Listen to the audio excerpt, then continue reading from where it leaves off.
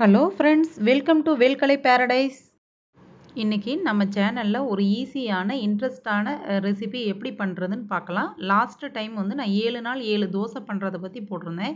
இன்றைக்கி ஆறு நாள் ஆறு சட்னி எப்படி செய்கிறதுன்னு பார்க்கலாம். அதுக்கு முன்னாடி சப்ஸ்கிரைப் பண்ணாதவங்க சப்ஸ்கிரைப் பண்ணுங்கள் பக்கத்தில் உள்ள பெல் ஐக்கானை மறக்காமல் கிளிக் பண்ணுங்கள் வாங்க வீடியோக்குள்ளே போகலாம்.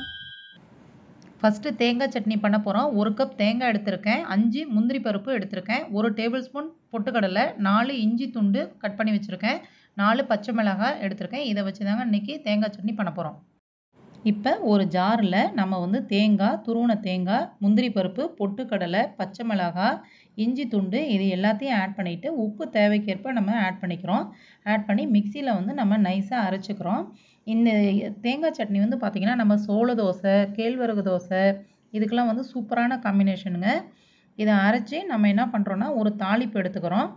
ஒரு க கரண்டியில் வந்து நம்ம எண்ணெய் ஒரு டேபிள் ஸ்பூன் ஊற்றி கடுகு உளுந்த பருப்பு போடுறோம். பொரிஞ்சதுக்கப்புறம் நம்ம லோ ஃப்ளேம்லேயே வச்சு பண்ணுங்கள் கொஞ்சம் பெருங்காயம் ஆட் பண்ணுங்கள் கருவேப்பிலை வரமிளகாய் வந்து உடச்சி போடாதீங்க. அப்படியே போடுங்க. ஒரு ஃப்ளேவருக்காக தான் நம்ம போடுறோம்.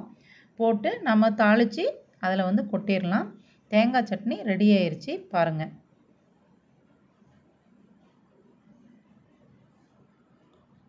பாருங்கள் தேங்காய் சட்னி ரெடி ஆயிடுச்சு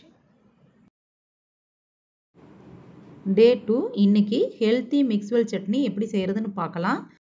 இந்த சட்னிக்கு தேவையான பொருட்கள் ஒரு கைப்பிடி வந்து புதினா எடுத்திருக்கேன் ஒரு கைப்பிடி மல்லித்தலை ஒரு கைப்பிடி வந்து உங்களுக்கு கருவேப்பிலை எடுத்திருக்கேன் ரெண்டு பெரிய தக்காளி எடுத்திருக்கேன்.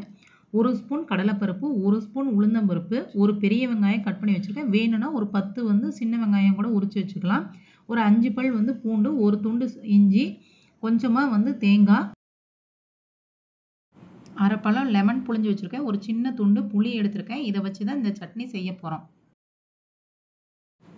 இப்போ ஒரு கடாயில் ஒரு ரெண்டு டேபிள் ஸ்பூன் எண்ணெய் ஊற்றிக்கிறோம் ஒரு ஸ்பூன் கடலைப்பருப்பு போட்டுக்கிறோம். அதோட உளுந்தம்பருப்பு எடுத்துக்கிட்டதையும் போட்டுக்கிறோம்.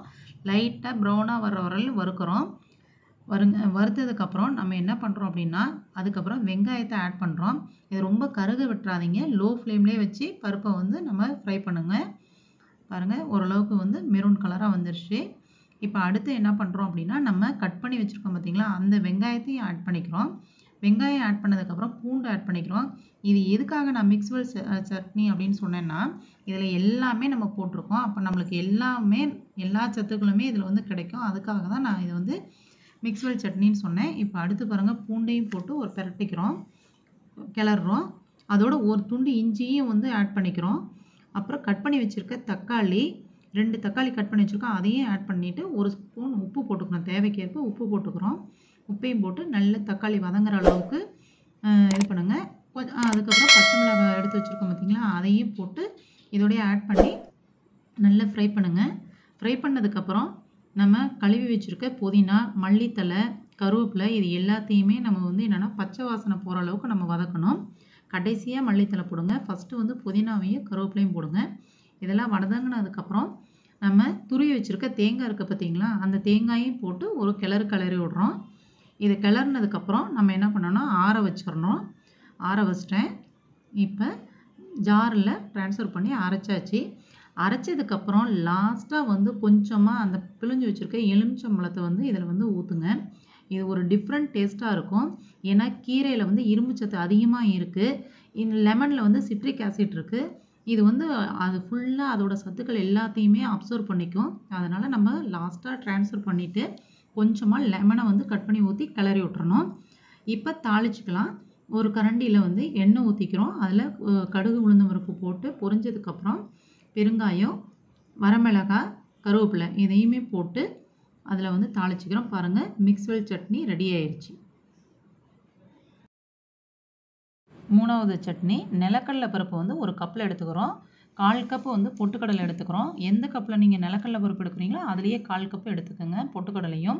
ஒரு அஞ்சு பல் வந்து பூண்டு எடுத்திருக்கேன். அஞ்சுங்கிறது ஒரு ஏழு பல் எடுத்துக்கலாம். ஒரு சின்ன துண்டு இஞ்சி. காரத்திற்கு ஏற்ப பச்சை மிளகாய் எடுத்துக்கிறோம். நான் ஒரு மூணு பச்சை மிளகாய் எடுத்திருக்கேன். உப்பு தேவைக்கேற்ப இதை வச்சு தான் நிலக்கடலை பருப்பு சட்னி செய்ய போகிறோம் இப்போ ஒரு கடாயில் ஒரு ரெண்டு டேபிள் ஸ்பூன் எண்ணெய் ஊற்றி நிலக்கடலை பருப்பையும் அதை பொட்டாவே போடுங்க. தோலோடையே போடுங்க. நிலக்கடலை பருப்பு பொட்டுக்கடலை பூண்டு புளி பச்சை மிளகாய் இது எல்லாத்தையும் நல்லா ஃப்ரை பண்ணுங்கள் ஃப்ரை பண்ணதுக்கப்புறம் ஆற வைங்க. ஆற வச்சு ஜாரில் போட்டு அரைச்சிட்றோம். அரைச்சதுக்கப்புறம் ஒரு கரண்டியில் எண்ணெய் ஊற்றி கடுகு உளுந்தம் பருப்பு போட்டு பொரிஞ்சதுக்கப்புறம் மிளகாய் கருவேப்பிலை போட்டு தாளிச்சிட்றோம். லாஸ்ட்டாக பெருங்காயமும் போட்டுக்கிறோம் கொஞ்சமாக பாருங்கள் ரெடி ஆயிருச்சு. தாளித்து கொட்டிடுறோம். நிலக்கடல பருப்பு சூப்பரான சட்னிங்க. இது வந்து உடம்புக்கு ரொம்ப ஹெல்த்தியான சட்னி. இன்றைக்கி ஃபோர்த் டே சட்னி. ஒரு கப் வந்து உளுந்து எடுத்திருக்கேன். ஒரு கப் தேங்காய் துருவின தேங்காய். காரத்திற்கு ஏற்ப ஒரு ஆறு வரமிளகாய் எடுத்திருக்கேன். பூண்டு பல் வந்து அஞ்சு ஒரு சின்ன துண்டு இஞ்சி உப்பு. இதை வச்சு தான் இன்றைக்கி வந்து உளுந்து சட்னி பண்ண போகிறோம் உளுந்து வந்து உடம்புக்கு ரொம்ப நல்லதுங்க. இதை சட்னியாக பண்ணி சுட சுட இட்லிக்கு சேர்த்துக்கிட்டோம்னா ரொம்ப சூப்பரான காம்பினேஷனுங்க இப்போ ஒரு கடாயில் ஒரு ரெண்டு டேபிள் ஸ்பூன் எண்ணெய் ஆட் பண்ணிக்கிறோம். உளுந்து நல்லா வறுக்கணுங்க. நல்ல லைட் ப்ரௌனாக வர்ற அளவுக்கு வறுக்கணும். அப்போ தான் அந்த வளவளப்பு இருக்காது. இப்போ நல்லா பாருங்கள் லைட் ப்ரௌனாக வந்துருச்சு.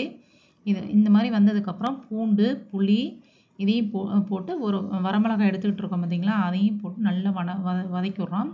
வதக்கினதுக்கப்புறம் நம்ம துரி வச்சுருக்கோம் பார்த்தீங்களா தேங்காய்? அதையும் போட்டு நல்ல ஒரு கிளறு கிளறி விடுங்க. கிளறினதுக்கப்புறம் ஆற வச்சு ஜாரில் நம்ம போட்டு உப்பு சேர்த்து அரைச்சிக்கிறோம். அதுக்கப்புறம் தாளிச்சிக்கலாம். கடாயில் எண்ணெய் ஊற்றுறோம் கடுகு உளுந்த முறை போட்டு பொரிஞ்சதுக்கப்புறம் வரமிளகாயும் போட்டு பெருங்காயம் போட்டு தாளித்து நம்ம சட்னியில் கொட்டிடுறோம் பாருங்கள் உளுந்து சட்னி ரெடி ஆயிடுச்சு உளுந்து சட்னி வந்து உடம்புக்கு ஹெல்த்தியான சட்னிங்க. நான் சொல்கிற ஒவ்வொரு சட்னியுமே உங்களுக்கு யூஸ்ஃபுல்லாக இருக்கும். டே ஃபைவ்ங்க அன்னைக்கு வெங்காய சட்னி பண்ண போகிறேன் ஒரு ரெண்டு பெரிய வெங்காயம் வந்து கட் பண்ணி வச்சுருக்கேன். கால் மூடி வந்து தேங்காய் துருவி வச்சுருக்கேன். புளி கொஞ்சம் வரமிளகாய் வந்து ஒரு நாலு வர வரமிளகாய் எடுத்திருக்கேன். கலருக்காக காஷ்மீரி சில்லி பவுடர் வந்து ஒரு டேபிள் ஸ்பூன் எடுத்திருக்கேன். இது வந்து பார்த்திங்கன்னா சின்ன வெங்காயம் யூஸ் பண்ணி செய்யலாம். நான் ஆனால் வந்து இந்த அளவு வந்து கரெக்டாக இது பண்ணி ஃபாலோ பண்ணி நம்ம பண்ணால் தான் நல்லாயிருக்கும் இதை அப்படியே பச்சையாக அரைச்சிக்கிறோம். ஜாரில் நம்ம வெங்காயம் தேங்காய் புளி அதுக்கப்புறம் பார்த்திங்கன்னா வரமிளகாய் இதோட கொஞ்சம் வெள்ளை ஆட் பண்ணிக்கிங்க. எதுக்காக அப்படின்னா இது பச்சையாக நம்ம அரைக்கிறதுனால வெள்ளை சேர்த்துக்கிட்டிங்கன்னா அந்த வந்து காரம் வந்து நம்மளுக்கு அதிகம் வந்து நம்மளுக்கு இருக்காது. இதோட உப்பு சேர்த்து அரைச்சிக்கிறோம். பாருங்கள் அரைச்சிட்டேன். இப்போ ஒரு பவுலில் ட்ரான்ஸ்ஃபர் பண்ணிக்கிறோம். ட்ரான்ஸ் ட்ரான்ஸ்ஃபர் பண்ணிக்கிட்டு கட தாளித்து நம்ம கொட்டிடுறோம். கடுகு உளுந்த மாதிரி போடுறோம். தாளிச்சிட்றோம். தாளித்து பாருங்கள் கொட்டிட்டேன். சூப்பரான இதுங்க. இது வந்து இட்லிக்கும் தோசைக்கு சப்பாத்திக்கு சூப்பரான காம்பினேஷன் இப்போ ஒரு ரெண்டு பெரிய தக்காளி வந்து கட் பண்ணி வச்சுருக்கேன். பூண்டு வந்து ஒரு ஏழு பல் போட்டுக்கோங்க. வரமிளகாய் நாலு சின்ன வெங்காயம் ஒரு பத்துங்கிறது ஒரு பதினஞ்சு வெங்காயம் வந்து உரித்து கட் பண்ணி வச்சுருக்கேன். கலருக்காக வந்து காஷ்மீரி சில்லி பவுடர் வந்து ஒரு ஸ்பூன் எடுத்திருக்கேன். இதை வச்சு இன்றைக்கி தக்காளி கார சட்னி வந்து எப்படி பண்ணலான்னு பார்க்கலாம். இது வந்து ரொம்ப சூப்பராக இருக்குங்க. ஒரு மூணு நாள் கூட இதை வந்து வெளியிலேயே வச்சுருந்தாலும் கெட்டு போகாது. இப்போ இதையும் பச்சையாக தான் நம்ம அரைச்சிக்கிறோம். நம்ம எடுத்துக்கிட்ட பொருள் எல்லாத்தையுமே அதில் ஆட் பண்ணி அரைச்சிட்றோம். இப்போ கடாயில் நல்லெண்ணெய் ஆட் பண்ணிக்கிங்க. ஒரு ரெண்டு டேபிள் ஸ்பூனுங்கிறது மூணு டேபிள் ஸ்பூன் ஆட் பண்ணிக்கிங்க. இதுக்கு எண்ணெய் கொஞ்சம் உண்டுனா ஊற்றிக்கணும் இப்போ கடுகு போட்டுறோம். சீரகம் வந்து அரைக்கிறப்பே கூட ஆட் பண்ணிக்கலாம். நான் அரைக்கிறப்ப ஆட் பண்ணாமல் இப்போ பொ தாளிக்கிறப்ப ஆட் பண்ணிக்கிட்டேன் கடுகு பொரிஞ்சதுக்கப்புறம் நம்ம என்ன பண்ணுறோன்னா கருவேப்பிலை போட்டுக்கிறோம். இப்போ அரைச்சி வச்சுருக்க அந்த தக்காளி இதை வந்து போட்டுக்கிறோம். போட்டு நல்லா ஒரு கிளறு கிளறி விடுறோம் இப்போ ஒரு ரெண்டு நிமிஷத்தில் நீங்கள் எடுத்தீங்க அப்படின்னா கொஞ்சம் பச்சை வாசனை இருக்கிறப்பே எடுத்திங்கன்னா அது ஒரு ஸ்டேஜுங்க. ஒரு நாலு நிமிஷம் கழிச்சு லோ ஃப்ளேமில் வச்சு ஒரு நாலு நிமிஷம் கழிச்சு நீங்கள் எடுத்தீங்கன்னா அது லைட்டாக எண்ணெய் பிரிஞ்சு வர மாதிரி இருக்கும். அந்த டைமில் எடுத்தீங்கன்னா அது ஒரு டேஸ்ட்டாக இருக்கும். நல்ல ஒரு அஞ்சு நிமிஷம் நல்ல லோ ஃப்ளேமில் வச்சு கொதிக்க விட்டு எண்ணெய் அப்படியே பிரிஞ்சு வெளியில் வந்துட்டு கலரே மாறின மாதிரி இருக்குது அப்படின்னா அதுதான் சூப்பராக இருக்குங்க. வெளியிலேயே ஒரு மூணு நாள் வச்சுருந்தீங்கனாலும் கெடாது இந்த சட்னி. இது வந்து ஏதாவது டூர் இந்த மாதிரி போகிறப்ப இந்த சட்னி வந்து ரெடி பண்ணிட்டு போனீங்கன்னா சப்பாத்திக்கு இந்த மாதிரி இதுக்கெலாம் இட்லிக்கெலாம் சூப்பரான காம்பினேஷனுங்க நல்லெண்ணெய் ஆட் பண்ணிக்கிங்க. நல்ல டேஸ்ட்டாக இருக்கும். ஹெல்த்தியான சட்னியாக தான் சொல்லியிருக்கேன். ஈஸியான சட்னியாக தான் சொல்லியிருக்கேன். உங்களுக்கு பிடிச்சிருக்கும்னு நினைக்கிறேன். பிடிச்சிருந்தா நீங்களும் செஞ்சு பாருங்கள் தேங்க்ஸ் ஃபார் வாட்சிங்